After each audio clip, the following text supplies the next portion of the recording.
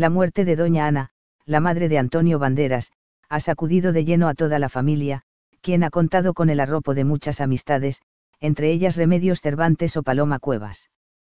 Para liberar la tristeza y despejar la mente, el actor se ha escapado hasta la ciudad de Barcelona acompañado de su hija.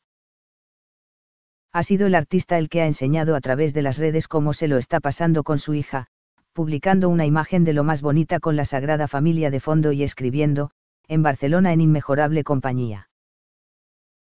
De momento el rodaje de la nueva serie documental del actor sobre la vida de Picasso se ha visto frenado, pero debe continuar trabajando sobre todo porque se ha caracterizado para interpretar dicho papel rapándose la cabeza.